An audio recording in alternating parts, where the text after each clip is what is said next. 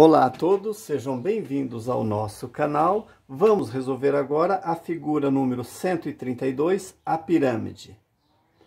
Então vamos pegar o nosso tangram, vamos pegar as peças menores e fazer um quadrado com essas peças menores. Olha só, fazemos assim.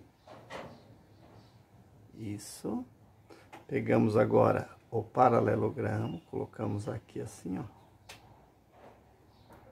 Vamos acertar isso. Pegamos o triângulo médio e um triângulo pequeno. Olha só. Isso, tá pronto um quadrado, né?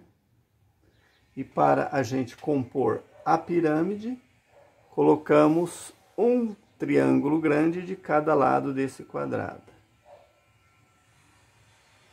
Isso. Assim. E está pronta a nossa figura número 132, a pirâmide. Valeu, pessoal!